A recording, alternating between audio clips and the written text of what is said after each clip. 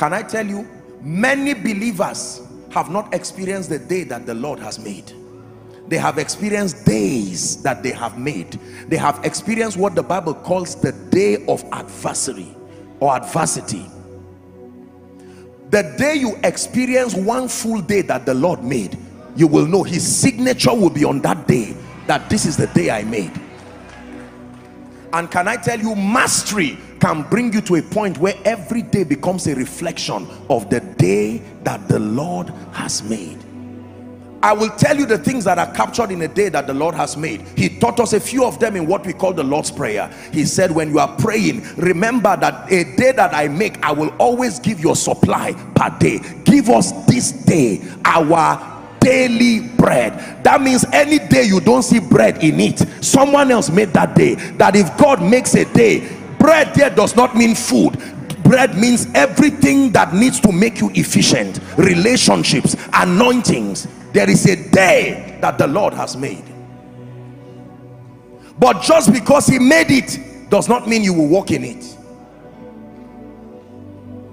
Striving for mastery. This is the day that the Lord has made. For the Bible to tell you this one is God that made it it means there are many other expressions of that day. There is the one Satan can make. Ask Job. Job did not experience Satan's days every day. The day he experienced Satan's own we knew that this one it wasn't God that made this day because in one day losses and pain and wickedness and tragedy. My question is the day you keep entering who made it? That your life becomes a plethora of defeat and pain and nothing in it that makes for kingdom come. Nothing in it that gives God glory. The Bible tells us this is the day.